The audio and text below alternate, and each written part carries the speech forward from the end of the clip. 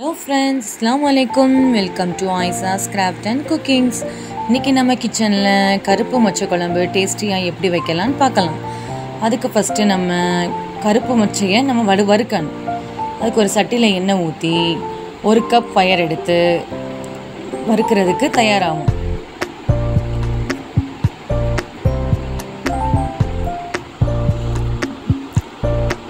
அது நல்லா colour change ஆகணும் அது வரைக்கும் நம்ம வறுக்கணும். நல்ல ஸ்மெல் வெளியே வரும். இந்த பயிரில் நல்ல ஃபைபர் கண்டென்ட் இருக்கனால நம்ம வீக்லி ஒன்ஸ் கூட எடுத்துக்கலாம்.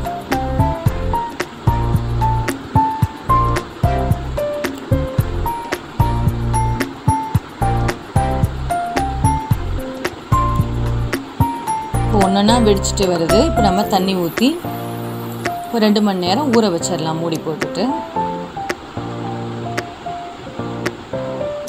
இப்போ இன்னொரு சட்டியில் நம்ம எண்ணெய் ஊற்றி எண்ணெய் ஹீட் ஆனதுக்கப்புறம் கடுகு சீரகம் வெந்தயம் கொஞ்சம் கம்மியாக யூஸ் பண்ணிக்கோங்க. இல்லைன்னா அதில் கசப்பு தன்மை வந்துடும் அதெல்லாம் சேர்த்து நல்லா பொரிய விடலாம். பொரியவும் சின்ன வெங்காயம் ஒரு பத்து சின்ன வெங்காயத்தை பாதியாக கட் பண்ணி வச்சுருக்கேன். அதையும் நல்லா வறுத்தெடுக்கலாம். ரொம்ப கலர் சேஞ்ச் ஆனால ஓரளவு வறுத்தா போதும். அதில் கருவேப்பிலை இலைகளை தூவி விடணும். ஒரு பத்து பூண்டை நான் வந்து உரித்து வச்சுருக்கேன். அதையும் நீல வாக்கில் கட் பண்ணி அதையும் இதில் நம்ம சேர்த்துக்கலாம்.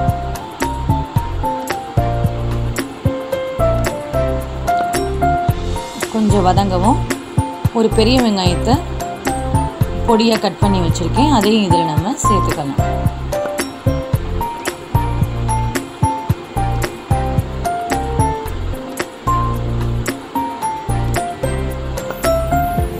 மூணு நல்லா வதங்குற வரையும் நம்ம கொஞ்சம் வெயிட் பண்ணணும்.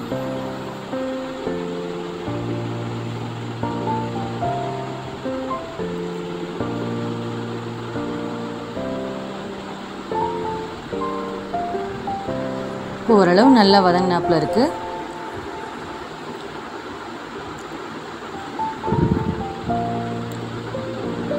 இப்போ ஒரு நாலு தக்காளியை நான் சேர்த்து இதோட கட் பண்ணி சேர்த்துருக்கேன்.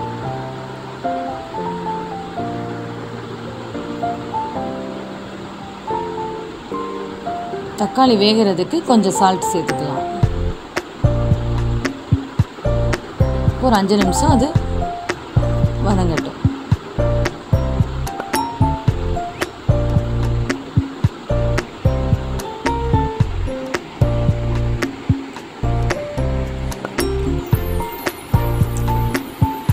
கொஞ்சம் கெட்டியாக இருக்க தோலெல்லாம் நல்லா கரண்டியால் அமுக்கி விட்டோன்னா இந்த மேஷ் ஆகிடும் அப்போ கிரேவி மாதிரி நல்லா வரும் குழம்பு.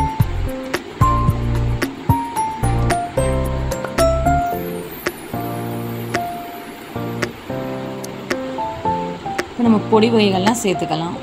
ஒன்றரை டேபிள் ஸ்பூன் மிளகாய்த்தூள் தனி மிளகாய்த்தூள் இது. ரெண்டு டேபிள் ஸ்பூன் மல்லித்தூள்.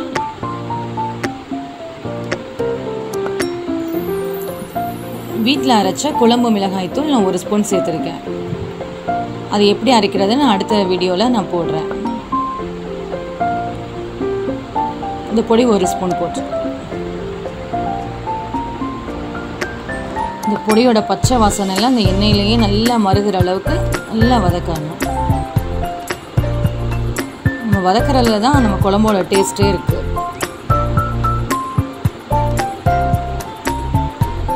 நல்ல கிரேவி மாதிரி இருக்குது இப்போ நம்ம நாலு கத்திரிக்காய் எடுத்து நான் கழுவி தண்ணியில் ஊற போட்டு வச்சுருக்கேன்.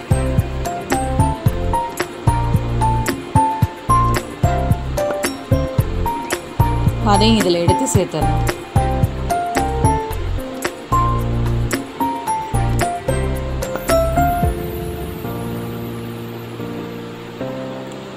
இந்த குழம்புக்கு கத்திரிக்காய் போட்டு வச்சோம்னா சும்மா செம்ம டேஸ்ட்டாக இருக்குங்க. நீங்களும் உங்கள் வீட்டில் இதே மாதிரி செஞ்சு பாருங்கள் உங்கள் வீட்டில் எல்லோரும் உங்களை பாராட்டி அவங்க ரொம்ப சந்தோஷப்படுவாங்க.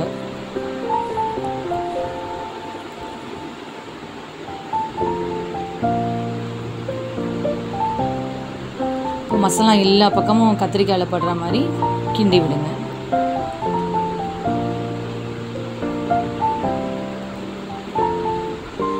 நான் மொச்சப்பயிரை வந்து தனியாக குக்கரில் வந்து ஒரு அஞ்சு விசில் நாலு விசில் விட்டு வேக வச்சு வச்சுருக்கேன். புளி வந்து ஒரு லெமன் சைஸ் புளியை கரைச்சி இதெல்லாம் இப்போ ஊற்றிக்கோங்க புளியோட பச்சை ஸ்மெல் போகிற வரையும் நல்லா கொதிக்க விடுங்க.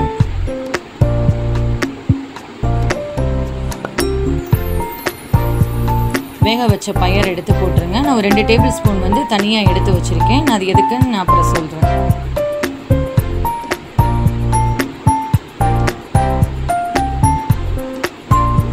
உப்பு தேவைக்கு போட்டுக்கோங்க.